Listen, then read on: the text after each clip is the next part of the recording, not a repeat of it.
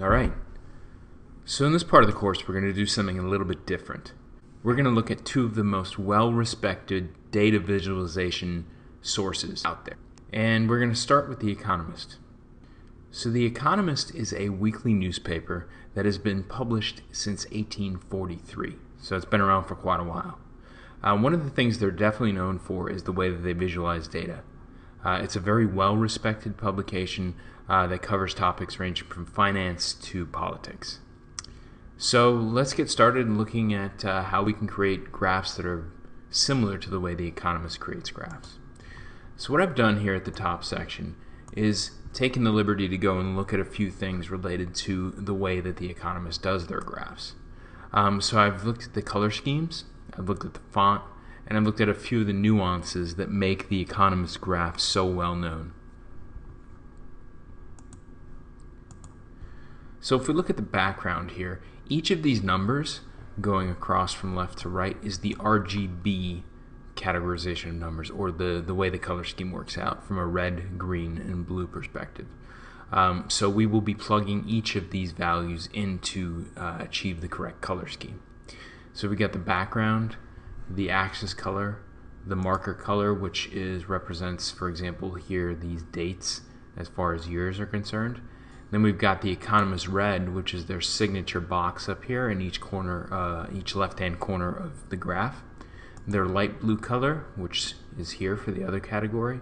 The medium blue, which is they use here for the apps category. And then finally this dark blue uh, graph uh, category here that's used for the music category. So let's get started. So first thing we're going to do is come up to insert and from here we can choose the area graph and just a plain 2D area graph will do for right now. So once we click that it'll come up with our blank canvas here and the first thing we're going to do is make this a little bit bigger but then we can go ahead and right click and go to format chart area so we can format the background. We're going to select the solid fill here and then go to the color and then choose more colors. From here we're going to go to custom and then we can choose our RGB values here in order to match the background color of the Economist. So we'll start with 195 and then we'll go to 215 for the green and then finally for the blue 227. So let's click OK and then close. And as you can see, this is starting to mimic the actual Economist background here. Let's do one more thing before we move on. Let's remove the line in the background. So we'll go to Format Chart Area again by right-clicking, and then go to Border Color and do No Line. And we'll click Close. This just gives it a cleaner look. So next thing we'll do is actually start adding some of our data. What I've done is created some dummy data over here now, this is not obviously the exact data uh, that the economists use. We don't have uh, that information. But in order to make it look the same, I created some dummy numbers that uh, are a proxy for what I think the numbers should be, and will, you'll see it'll come out close to what the economist is graphing here. So let's add some data. Let's right click and go to select data and then what we'll do is we'll click the add button here and we can go to the series name and let's start with the other category close that out and then let's select some data here. Let's select the data points all the way down from 2006 to 2015 close that out and then click OK. Let's also add in the years here for the horizontal axis labels so we'll click edit and then we'll come down over here to our left hand side and scroll down and bring all the way from 2006 to 2015 the years here. Let's click OK, and then let's click OK again. As you can see, this is starting to take shape. We're nowhere near looking like the Economist graph, but we're getting there. So let's delete some of these uh, peripheral items right now. We don't need the heading, we'll come back and get that. And then we don't need the legend as well. We don't need that right now as well. So next, let's format this white background here to be uh, the same color as the, uh, the foreground.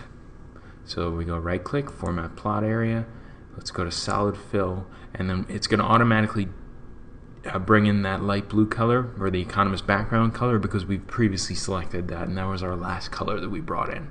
So we've got that all set. Let's click OK. Now let's uh, click on these axis labels here. Let's do a little bit of bolding. So Control B for bold. And then again on the uh, vertical axis, Control B for bold. While we're at it, let's right click on this vertical axis here and go to Format Axis. You'll see that the Economist over here has their axis broken out by twos. Right now our major unit is one. We'd like to change that to two so we can mimic the Economist. Click change that to 2 and then click close and then you'll see we are here. Um, we've got the incremental increase on our vertical axis of 2 instead of the 1 that we had before. So next, let's change some of these axis colors here. You'll see that the Economist does not have a vertical line showing here. There isn't a line here. So let's do the same thing. Right click again, format axis, we can go to line color and let's do no line. Click close and you'll see now our line has disappeared so we're much more similar to the economist graph. Since we've got one data point in here, let's go ahead and format this data point to be similar to the colors that the economist shows for the other category. So right click, go to format data series, let's go to fill solid fill and then we'll come here and we'll go to more colors from the color selector. So the RGB values for the uh, light blue category here are listed as 95, 198, and then 245. Alright, and then you'll notice one other thing if we come back over here to the left of the Economist graph. It has this nice blue outline here. So let's do the same thing on the uh, border colors. So we'll click border colors and we'll do solid line and it looks like it's a this dark blue over here will work well. We can go to border styles and we'll change this two point down to uh, one point. Actually let's go 1.5 just to give it a little bit of thickness. We can click close. So as you can see we're starting to take a little bit of shape here as far as the um, graph is concerned. Alright, so while we're at it, let's add a second set of data points. So let's right click, go to select data, let's click add. What we'll do here is change the series name to apps by clicking like that, and then we'll bring in the apps values. I wouldn't worry about these two blanks here, they're automatically going to graph as, as blanks, so we'll ignore that. We'll close this out, and then we'll click OK. And then we'll bring in the years 2006 all the way to 2015 click OK and then OK. Alright you'll see we're starting to get a little bit of uh, extra data in here. So we right click go to format data series then we'll go to fill solid fill and then we'll bring in these RGB values by going more colors and we'll get this medium blue over here so 18 147 and 212 that brings the medium blue.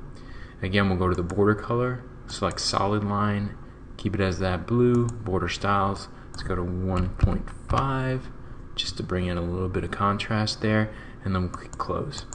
All right, we're getting there. Oops, actually I see here that this is not a blue border color, but a white border color to give it the contrast, so let's change that. So we'll right click, format data series, border color, and we'll change it to white.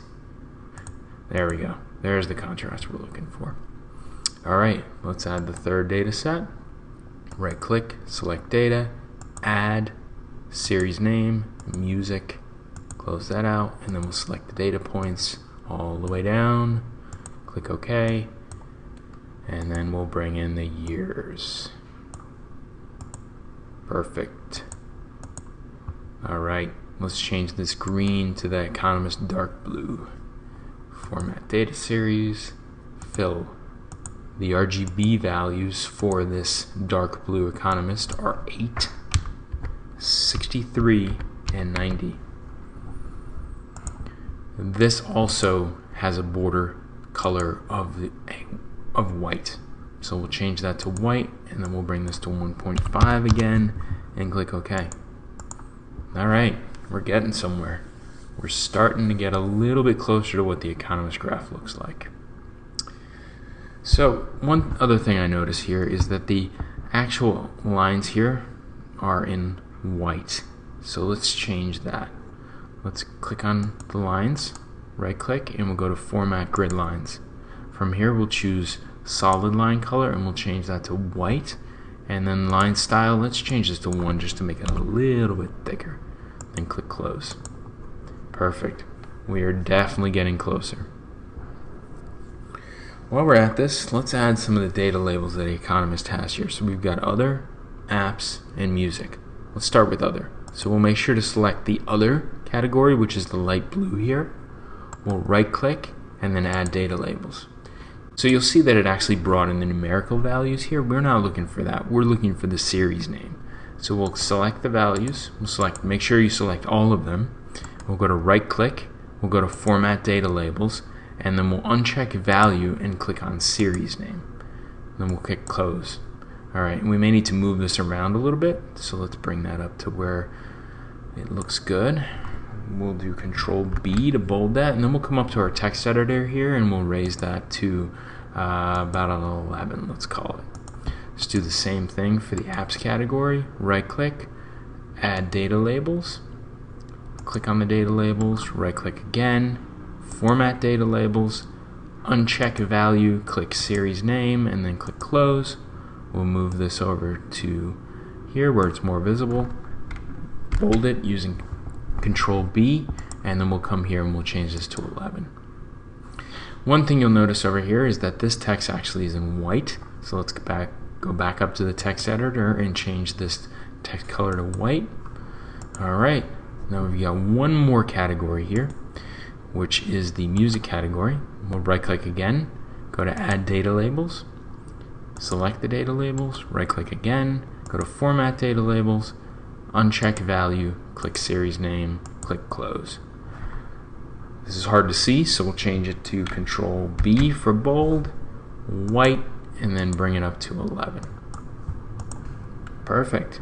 We are getting somewhere.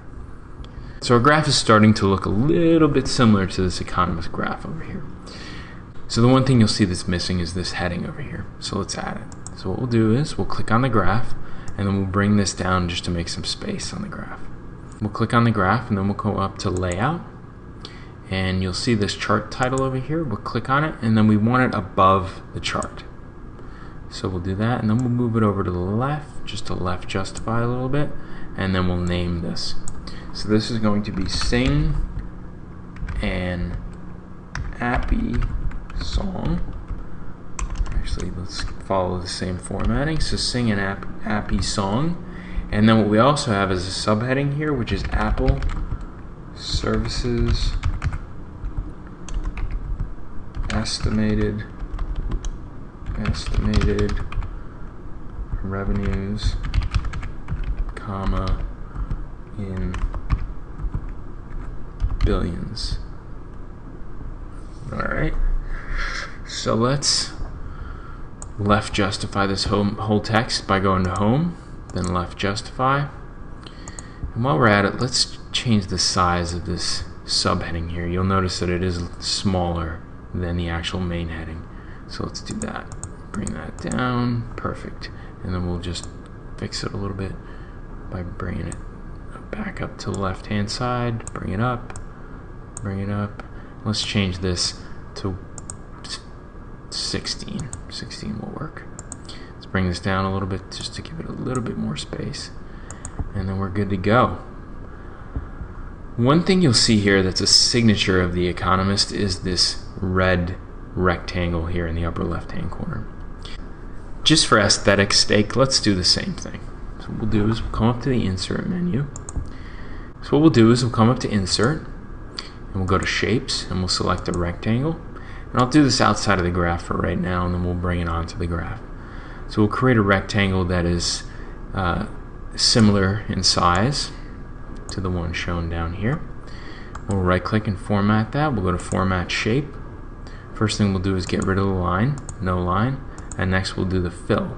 So solid fill.